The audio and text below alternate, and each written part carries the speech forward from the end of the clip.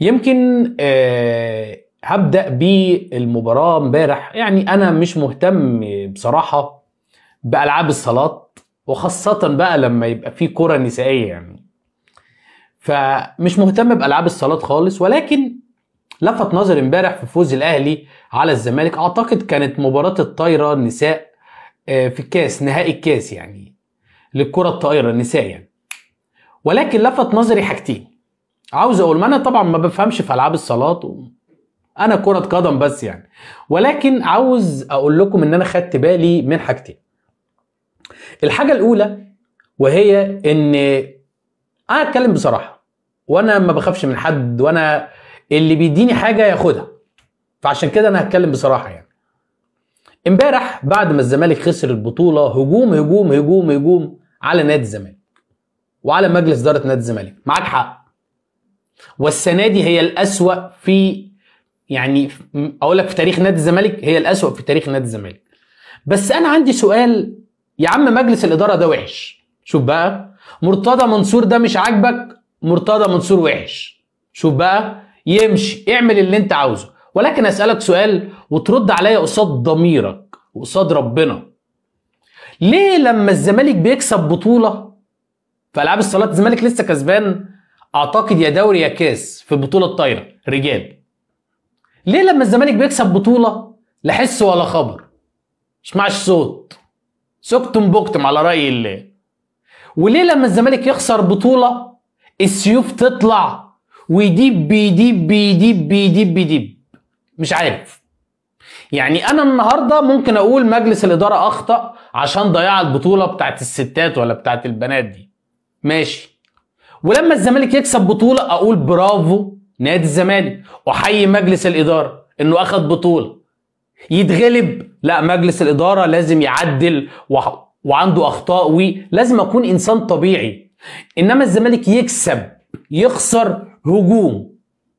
هجوم. محتاج رأي حضرتك وأنا مش هقول رايي بس محتاج رأي حضرتك على الكلام ده. اتفقنا؟ اتفقنا. فدي الحاجة الأولى اللي مجنناني. الحاجة التانية عاوز أسأل ولا مش هسأل حضرتك؟ أنا هقول لك إيه اللي حصل إمبارح. إمبارح كان آه، محمود الخطيب كان موجود في المباراة ولكن ما كانش موجود في الصالة. يعني ما كانش قاعد ما كانش ظاهر بالبلدي كده يعني. وكانت النتيجة رايحة جاية هو كان قاعد بعيد. بحيث لو أنت قاعد في الاستاد أو التلفزيون بيذيع تقول إن هو ما جاش مش موجود. وأول ما الفريق كسب ظهر. ظهر. وبدأت بقى اللقطة اللي إحنا عارفينها اللي هم يعني بيعملوها كتير وحافظينها وبيتدربوا عليها. آه، يدوا له الميداليات يلبسها والخلوق آه، والعياط والمناديل وشايفين هذا لا يحدث إلا في النادي الأهلي.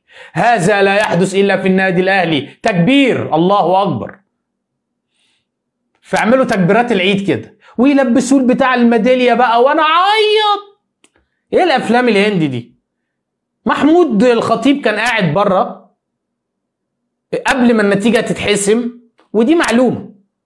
قاعد بره وأول ما ما الولاد ولا البنات خدوا البطولة آه، جه بقى وزار هتكمل في إيه؟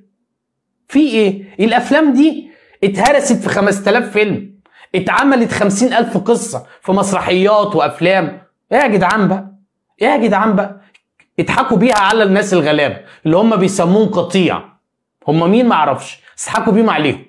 إنما مش علينا إحنا. مش علينا مش علينا. إحنا اتهرينا. فده بس كان مقدمة كده لغاية ما العدد يزيد. ونبدأ بقى نعمل like و share وندخل في التقيل. وندخل في ضرب النار والتخبيط. تخبيط في الحلل. طيب تعالوا بينا نخبط في الحلل. إيه بقى يا عم محمد الحلل اللي أنت هتخبط فيها؟ بص يا سيدي. بص يا إيه؟ يا سيدي. هل الوزير المحترم هل الوزير أخطأ في عزل أو زوال عضوية مرتضى منصور امبارح؟ لا. وحضرتك بقى لازم ترد عليا. المو... الكلام ده لا هترد عليا. مش هسيبك. اكتب لي في التعليقات. هل سيادة الوزير أخطأ في تطبيق القانون؟ وخد بالك من القانون وحكم المحكمة إن هو يزيل عضوية مرتضى منصور من مجلس إدارة نادي الزمالك؟ ها؟ لا ما أخطأش. والراجل نفذ القانون بحذافيره. برافو برافو. أحيي سيادته على تنفيذ القانون بحذافيره. ودي حاجة بتسعدني يعني. ولكن بيبقى فيه في القانون حاجة اسمها روح القانون. يعني إيه؟ يعني إيه روح القانون؟ يعني مثلا مثلا يعني بيبقى فيه كده حاجات معينة يعني لو حد مريض لو في ظروف معينة ده ساعات بيخرجوا حد من السجن يحضر مش عارف جوازة بنته ولا مش عارف إيه ويرجعوه تاني. مش مش عارف الكلام ده بيحصل في الحقيقة ولا لأ ولكن أنا شفته في المسلسلات والأفلام وال... إيه اللي خلى الوزير يطلع قرار زوال العضوية امبارح؟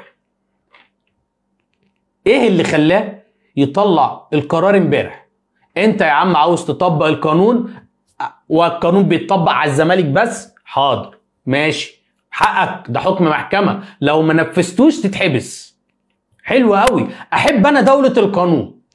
أحبها قوي. قوي بجد يعني. إنما ليه امبارح؟ ليه يوم وقفة العيد؟ مش هقول لك بقى عشان مرتضى منصور ونفسيته. لا لا لا. خلاص. أنا ماليش دعوة بمرتضى منصور يا عم خلاص. أنا بتكلم على جمهور الزمالك. هي دي العيدية؟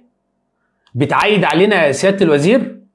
بتقول لنا كل سنة وأنتم طيبين يا جمهور الزمالك يا جمهور ضعيف يا جمهور ملوش قيمة يا جمهور منقسم يا جمهور ملوش لازمة وعشان كده بيحصل فيكم كده ولسه هيحصل فيكم أكتر من كده؟ آه والله العظيم. وهقول لك إيه اللي هيحصل دلوقتي.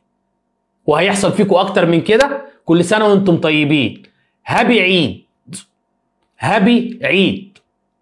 كنت نفسي يا سيادة الوزير تطبق القانون لما قلت مرة في حديث مع أعتقد مش عارف مع عمرو أديب ولا مع مين الأهلي فيه مخالفات ولكننا بنغض الطرف عشان الأهلي واجهتنا وكرامتنا. عشان الأهلي واجهتنا وكرامتنا وحضرتك اعترفت إن النادي الأهلي به مخالفات وغضيت الطرف. كنت نفسي يا سيادة الوزير تبعت لجنة تدعبس كده تشوف ميكي ميكي سوني. الواد اللي بيقف على الكورة كده ده شكله هيمتعنا. فعلا. علاء صادق ما بيقولش حاجة غلط. إحنا اتمتعنا. مش أنت اتمتعت بميكي؟ وأنت اتمتعت وأنت أو أنت اتمتعت في حد لسه ما اتمتعش؟ كلنا اتمتعنا بميكي. ده إيه الواد ميكي ده اللي بيقف على الكورة كده. بيقف على الكورة كده. يا سيادة الوزير في لعيب اسمه ميكيسوني قاعد في بيتهم. بياكل الكحك والبسكويت دلوقتي وعمال يسقي البتاع في الشاي كده اسمه ميكيسوني بياخد فلوس ملايين وهو قاعد في بيته. أنا متفق مع سعادتك طبق القانون واعزل مرتضى منصور. فيش كلام. قانون دولة القانون بتسود. طب نطبق بقى القانون زي مع الزمالك كده؟ نطبقه على الاهلي لا ميكوسوني كان في السعودية ونادي أبها السعودي فسخ الإعارة بتاعته وميكوسوني قاعد بياخد عقده من غير ما يلعب ومش مقيد في القايمة بتاعت الأهلي. كنت نفسي تشوف آه، بيرسي تاو جيب كام ولعب كام ماتش كنت نفسي تشوف جيرالدو أليو بادجي كنت نفسي تشوف والتر بواليا. كريستو الكريستو بتاع أنا اللي جاي من النجم الساحلي بأكتر من مليون دولار. كنت نفسي تشوف كريستو. سافيو سافيو الواد سافيو إيه يعني بياخد مليون دولار في السنة يعني؟ وعقده ثلاث سنين واصلا هو جاي بمليون ونص دولار وكان فاضل له ثلاث شهور ويجي فري يا محمد دي مش مخالفة إهدار مال عام. لو كان الأهلي صبر كان وفر مليون ونص دولار. لا يا محمد ما تخليش عندك نظرية المؤامرة. كنت نفسي يا سيادة الوزير تطبق القانون وتبعت لجنة من الشؤون القانونية تحقق في النادي الأهلي وتشوف الكلام ده صح ولا غلط. كنت نفسي معاليك كنت نفسي معاليك وأتمنى تكون بتتفرج عليا دلوقتي لأن إحنا في أجازة وأكيد مفيش وزارة. كنت نفسي معاليك يعني لما كان محمود الخطيب مش عاوز يلعب ماتش الجونة من كذا سنة ما تروحلوش بيته لأن مقام معاليك كبير قوي عندنا.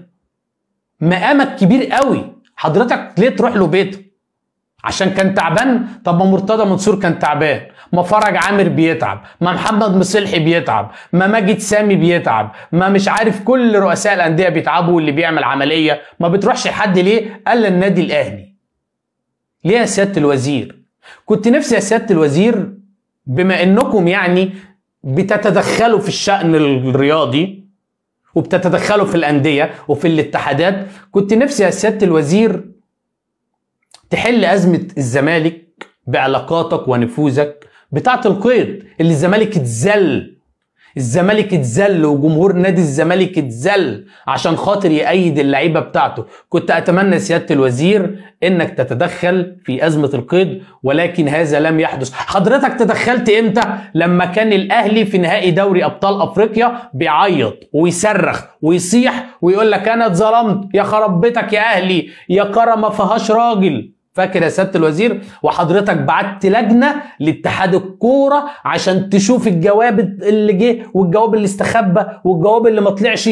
شكلت لجنة وما فكرتش تشكل لجنة عشان خاطر معليك تشوف نادي الزمالك اللي لجنة الاستئناف مش عارف ولا التظلمات أقرت إن نادي الزمالك اتظلم في موضوع القيد واتحاد الكورة جه على نادي الزمالك في موضوع القيد. كنت نفسي حضرتك تتدخل يا سيادة الوزير وتمارس صلاحياتك كنت نفسي يا سيادة الوزير تعرفنا من 2020 ل 2023 أين هي المخالفات التي تم حل مجلس إدارة نادي الزمالك بسببها. حتى الآن لم تظهر هذه المخالفات. وقعدت نادي الزمالك في دوامة عدم الاستقرار أكتر من سنة.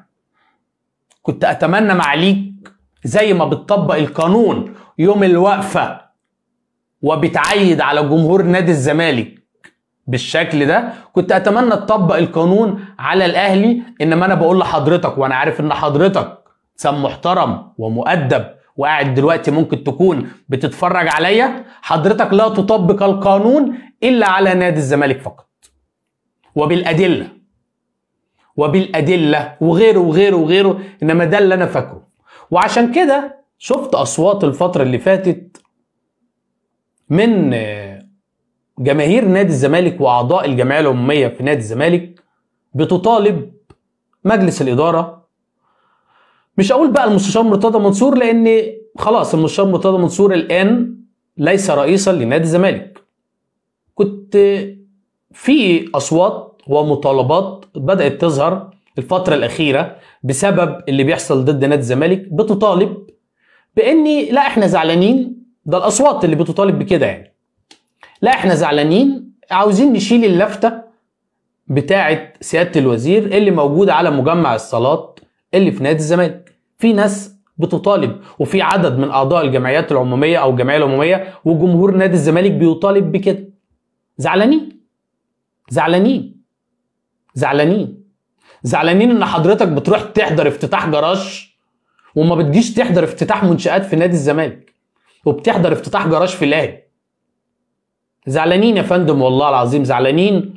وأبلغ رد على الزعل ده على حسب الكلام اللي بيطلع. ان الناس عايزة تشيل اليافطة يعني من على مجمع الصالات وتحط أي اسم تاني أي حد تاني أي رمز بقى من رموز نادي الزمالك اللي بيحبوا الزمالك وبيغيروا على الزمالك وبيخدموا نادي الزمالك. فشكرا على العيدية بتاعه جمهور نادي الزمالك يا سيادة الوزير. وإحنا أصلا لو لينا قيمة ومحدش بيزعل مني من جمهور نادي الزمالك. أنا محدش زملكاوي أكتر مني. ولكن إحنا لو لينا قيمة عند صانع القرار ما يطلعش أصلا القرار ده قبل العيد. يطلع بعد العيد. إنما ده إحنا جايين في الساعات الأخيرة من الوقفة وقفة العيد ودي عشان إحنا ملناش قيمة وجمهور ملوش لازمة ولا جمهور ليه وزن. وأنا بعترف بكده. والاعتراف بالحق فضيلة. طيب